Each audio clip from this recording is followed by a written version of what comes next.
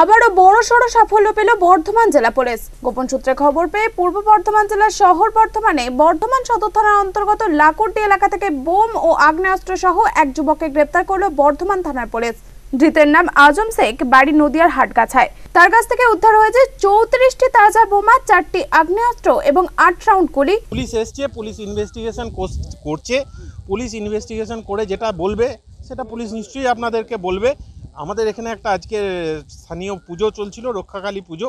সেই পুজোর ওখানে আমরা, আমিও ছিলাম হ্যাঁ তো সেখানে জানতে পারলাম হঠাৎ করে যে পুলিশ আসছে, কি ব্যাপার, কিছু একটা এমন কিছু পাওয়া গেছে যেটা এখানে পাওয়া উচিত নয় বা এইরকম যে নিশ্চয়ই একটা কিছু ব্যাপার হয়েছে। তো পুলিশ আসছে, পুলিশ ইনভেস্টিগেশন করছে ইনভেস্টিগেশনের পরে জানা যাবে কি আছে, না আছে। বরঞ্চ আমরা বলতে পারি যে বর্তমান যে সরকার, বর্তমান যে গভর্নমেন্ট তার এই প্রচেষ্টা, এই প্রচেষ্টাকে আমরা সাধুবাদ জানাই যে অন্তত পশ্চিমবাংলাটা উত্তরপ্রদেশ বা অন্য রাজ্য গুজরাট হয়ে যায়নি। এখানে এখানকার সরকার অত্যন্ত তৎপরতার সঙ্গে এবং পুলিশ অত্যন্ত তৎপরতার সঙ্গে যে ভূমিকা গ্রহণ করেছে তা প্রশংসনীয় এবং পারছি দাদা, বমের রেখে গেছে লোকে, এইটুকুই আমারও শোনা কথা, আমি তো আর ওখানটায় যাইনি আর যাবও না। মানুষের আতঙ্কর ব্যাপার আছে। তাতে আমি আমার রাইস মিল আছে, এই রাইস মিল আমি আমি এই রাইস মিল ওই কী হয়েছে দেখতে এসে এই খবর শুনলাম যেখানে বম রেখেছে। আমি একটু আতঙ্কর মধ্যে কারণ হচ্ছে বম ব্লাস্ট হয়ে যদি কোনো কারণে অগ্নিকাণ্ড ফগ্নিকাণ্ড হয়, সেটা যাতে না হয়, সেই জন্যই আমার রাইস মিল। এটা হচ্ছে লাকুড্ডি দত্তমরান উদ্যোগ। আমার নাম সৌমাব দত্ত। কি মনে হচ্ছে যে জেলা থেকে যে এত বারবার যে বোমা উদ্ধার হচ্ছে কতটা আতঙ্কিত আছেন জেলা দেখুন আতঙ্কিত মানুষের মধ্যে তো আতঙ্ক ছড়িয়েছি তা আমরা এ নিয়ে আমাদের আর সাধারণ মানুষ আমরা এ নিয়ে বিশেষ কিছু ইয়ে করতে চাই না।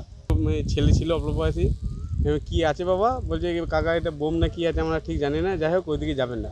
যাক, উনি বলার পর আমরা সাইড দিয়ে হয়ে ওই মুখ হাত ধুয়ে বাড়ি চলে গেছি। তারপর দিয়ে দেখছি এখনও সব ওইখানে পুলিশরা আছে বা তোমরা মিডিয়ারা এসছো কি দেখলেন ওখানে কি আছে আমরা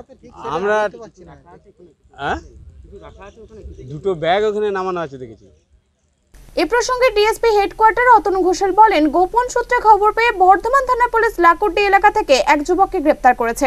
যুবকের কাছ থেকে চারটি ওয়ান সেটের পিস্তল আট রাউন্ড গুলি এবং চৌত্রিশটি দেশি বোমা উদ্ধার হয়েছে। আজ তাকে আদালতে তোলা হয়েছে দশ দিনের পুলিশি হেফাজতেও নেওয়া হয়েছে। তাকে জিজ্ঞাসাবাদ করে আরও কিছু জানা যাবে বলে জানান একদিন ডিএসপি। একটা ইনফরমেশনের এগেনস্টে বর্ধমান থানা থেকে একটা টিম রেড করে একজন শেখ নাজিম বলে একজন নদিয়া ডিস্ট্রিক্টের একটা ছেলেকে ইন্টার ধরে এবং তার কাছ থেকে তার কনফেশনাল স্টেটমেন্ট থেকে চার রাউন্ড চারটে ইম্প্রোভাইজ পাইপ গান আট রাউন্ড গুলি, আর চৌত্রিশটা ক্রুড বোম দেশি বোম রিকভারি হয়। এই ছেলেটা বাইরের ছেলে। আমাদের আগে এখানে ওর কোনো অ্যাক্টিভিটিস আছে কিনা আমরা ইনফ্যাক্ট এখনও পর্যন্ত ডিটেলটা আমরা পাইনি। আমরা পিসি নিচ্ছি আগামী ছেলেটাকে আমরা কন্টিনিউয়াস যে ড্রাইভ ডিস্ট্রিক্ট লেভেল ডিস্ট্রিক্ট থেকে চলছে সেই তারই পার্ট হিসাবে আমরা চেষ্টা করছি রিকভারি করবার জন্য। সেইটা ভেরিফাই আমরা করব। পিসি ডিউরিং পিসি পিরিয়ডে ভেরিফাই করে বলতে পারব। এখন ডিসপোজাল স্কোয়াডকে অলরেডি ইন্টিমেশন দেওয়া হয়েছে ওটা ডিসপোজাল করবার জন্য। সেই পোর্শনটা ভেরিফাই করতে হবে যে ওই জায়গাটা ফাঁকা বলে এর সুযোগটা নিয়েছে কিনা ছেলেটা। এবং এই এলাকাতে আর্মস বা বোমের সাপ্লাই করে কিনা সেটা ভেরিফাই সেটা সেটা আমরা ভেরি এখন বলার জায়গায় নেই। আমরা ওকে পিসি নিয়ে আসি। গতকাল রাত্রিবেলা ধরা পড়েছে, আজকে কোর্টে প্রোডাকশন হবে। কোর্টে প্রোডাকশনের পরে পিসি নেওয়ার পরে আমরা বাদবাকি জায়গাগুলোতে বলার জায়গায় আসবে। আমরা আমাদের কাজ করছি। আমরা কন্টিনিউয়াস বর্ধমান থানা এলাকা থেকে প্রচুর বোম রিকভারি এবং আর্মস রিকভারি হয়েছে। তো এখন যেটা আছে, সেটা হয়তো আরও ইন্টেন্সিভ বর্ধমান থেকে পিন্টু প্যাটেল ও টিঙ্কু সাউর রিপোর্ট আনন্দ বার্তা